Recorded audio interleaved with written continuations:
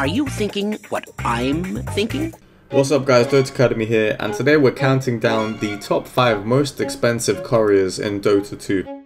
Number 5 is the auspicious Jin and Yin Fox Spirits at £189.15. This uh, courier is, is quite expensive for the reason that it came from New Bloom Festival 2014, so you had to take part in that event which took place January to February, and it comes in a auspicious quality, which is a rare quality obtained only from this event.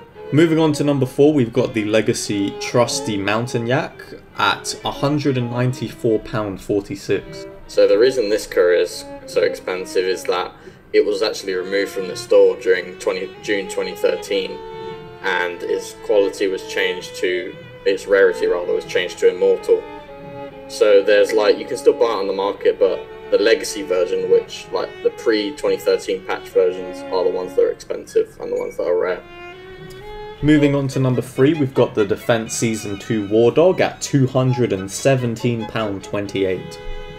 So this item could only be unboxed from the Defense 2 chest given to those who purchased the Defense 2 ticket within only the first few weeks of the tournament.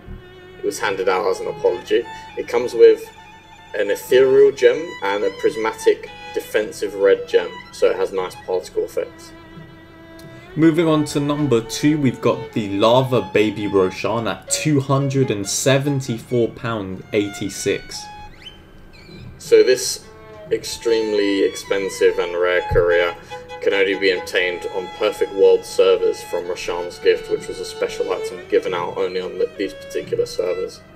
However, you could also obtain it from a promotional code by purchasing the Roshan statue. Uh, it comes in a genuine quality and it's an immortal rare.